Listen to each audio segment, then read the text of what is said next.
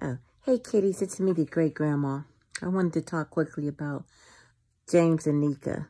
Everywhere I go in the beef sector, it's something being said about James and Nika. And I don't have a dog in the fight, but I've been on this road before the beef sector was a beef sector.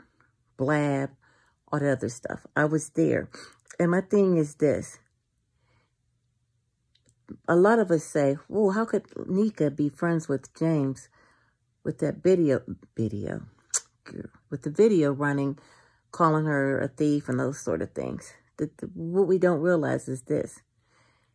If she has no problem with it, then we cannot, we can state our opinion, but we can't call her stupid, dumb, or him right or wrong because we don't know why they're doing what they do. We don't know why. So, um, I haven't heard Nika say, James, please take that video down.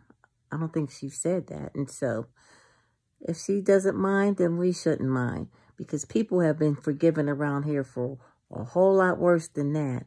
And again, I'm just behind the scene and I know that sometimes, guys, things aren't exactly what they appear to be around here. And again, people have asked me to do things that or so unethical and so retarded and crazy, I, I just couldn't do it. So anywho, that's my two cents. You know, that's that's on her.